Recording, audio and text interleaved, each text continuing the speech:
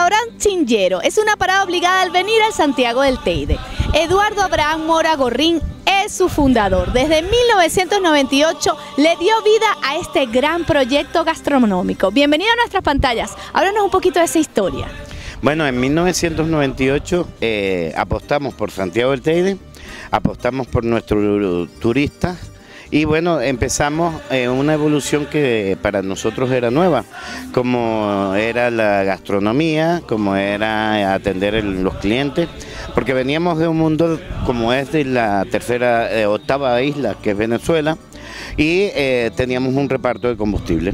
Y bueno, aquí optamos por meternos en una hostelería y bueno, poquito a poco, entre lo que hemos aprendido y la evolución que hemos obtenido con nuestros turistas y nuestros buenos cocineros que hemos conseguido, así como nuestros grandes camareros, eh, ha dado como resultado que ahora tenemos una superficie que podemos dar como 420 comensales y eh, diariamente atendemos a todo ese público que sale totalmente contento por nuestro desarrollo. Hola, te invito a la Ruta del Almendro, es una parada que hay en el Teide, una parada obligada en el restaurante Chingero.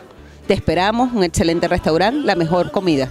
Tenemos que recordarles que los turoperadores son pieza clave para de alguna u otra manera incentivar el turismo y tú has hecho como buen empresario de querer crecer poco a poco y darle ese servicio a todos los turistas que nos visitan en esta hermosa isla. Háblanos un poquito de esa alianza porque ya hemos visto que llevan como dos autobuses que llegan el día de hoy con turistas de todas partes del mundo, Alemania, rusos, de verdad tenemos gran variedad de turismo aquí en Tenerife Sur. Esa alianza se gana con siendo constante, invitándolos a cada uno de ellos, porque considero que un tour operador tiene que llevarse ese buen sabor de boca para él poder recomendar esas excursiones. It's an excellent restaurant and we just came over from El Partito de Guimar to see the blossoms today because the weather is fine, a little bit wind, and we have been sitting here for the nice coffee and we had very big sandwiches so this is a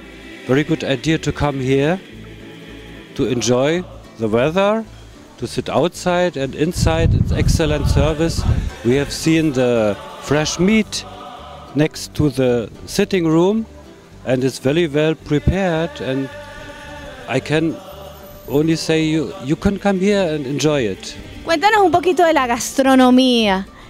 ¿Qué nos ofreces en este restaurante? Que todo el mundo, ¿verdad? Podemos ver que a toda hora tenemos comensales. ¿Cuál es la característica para decir, quiero ir todos los años cuando vengo a Tenerife a comer algo en específico?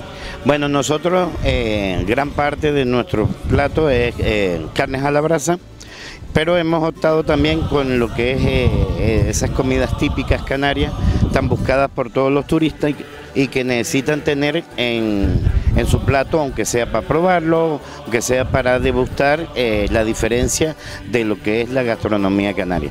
Y eh, usando los conocimientos venezolanos que también tenemos, pues se nos hace una mezcla explosiva de sabores que todo el mundo le gusta. Bueno, estamos con nuestro chef Raúl Fuentes, directamente de Ico de los Vinos, nos deleita con sabores gastronómicos típicos espectaculares. En esta mesa tenemos preparado lo que va a ser la degustación que vamos a disfrutar en el Camino del Almendro, que viene del 26 de enero al 16 de febrero. Bienvenido Raúl, cuéntanos qué nos tienes preparado. Bueno, este año eh, tenemos preparado una cremita de verdura, después de segundo plato tenemos un bacalao, un cebollado con una papita arrugada y de postre una tartita de almendras, tarta Santiago. Una de las características que caracteriza esta ruta es que tiene que incorporar la almendra. Háblanos un poquito cómo hiciste esa fusión para darle vida a un bacalao con un poquito de almendra. Sí, claro, claro. Tiene lo típico, la almendra y la cebolla, el pimiento y lo demás, el hervido que lleva lo demás. Háblanos un poquito de la típica torta de Santiago, muy conocida en Galicia, ¿no?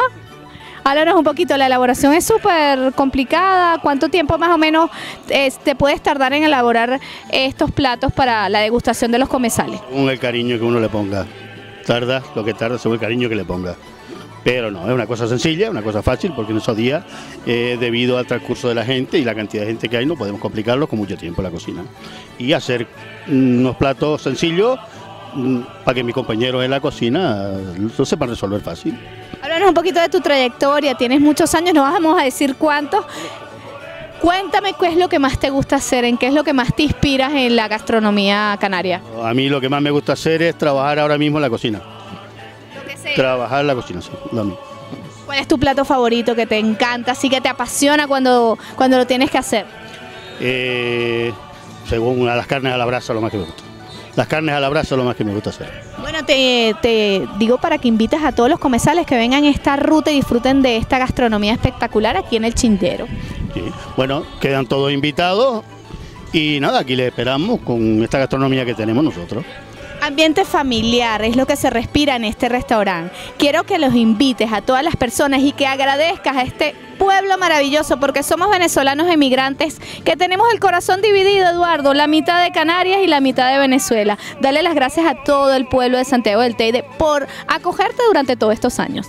Bueno, sí, ante todo, mi, Santiago del Teide para mí ha sido un precedente para de emociones y a donde nosotros por las redes sociales eh, colgamos muchos vídeos, muchas eh, gratas imágenes y bueno, antes me estabas preguntando que por qué se llama el restaurante Chingero, pues para que lo sepan algunos que no, no lo saben, hubo un volcán que explotó en 1909 y en conmemoración de ese volcán le pusimos restaurante Chingero, porque el nombre de ese volcán es Chingero.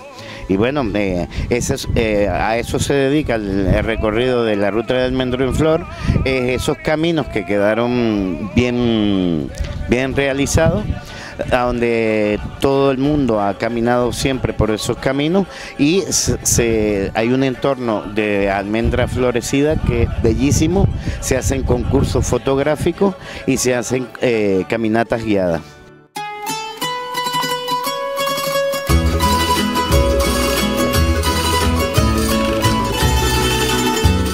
Ruso Mateo, gran conocida en nuestra Canaria, tenía que degustar este plato de la ruta del almendro.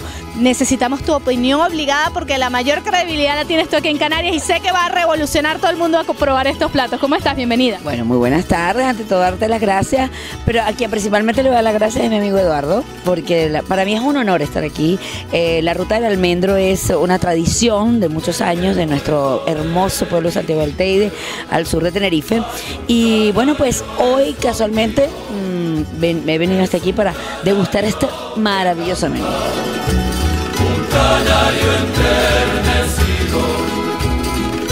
Yo les voy a decir, vuelvo a insistir, porque este es el menú de la, de, de- de- de la rotata del almendro, pero el único sitio que yo he probado el pollo en brasa como de Venezuela es aquí en el Chiñero. ¿Qué quieres que te diga? Claro que sí, pues nada, vamos a brindar por esta unión venezolana-canaria y que viva Santiago del Teide y el Chingero.